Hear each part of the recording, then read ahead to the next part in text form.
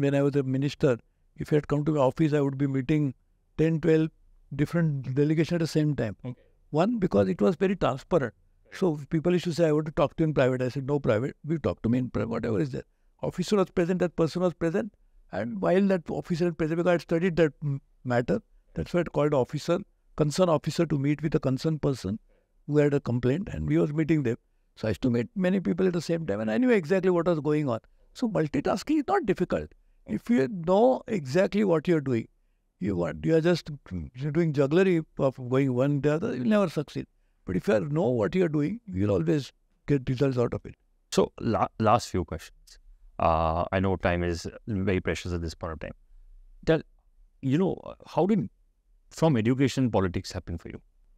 No, no, I'm not from. See, actually, I was. I'm not.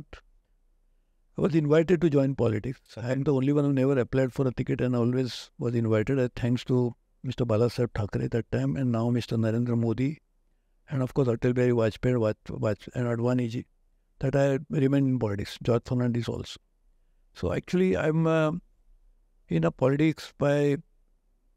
I joined because they uh, invited me, and I did my best to achieve it. I am four times Lok Sabha member.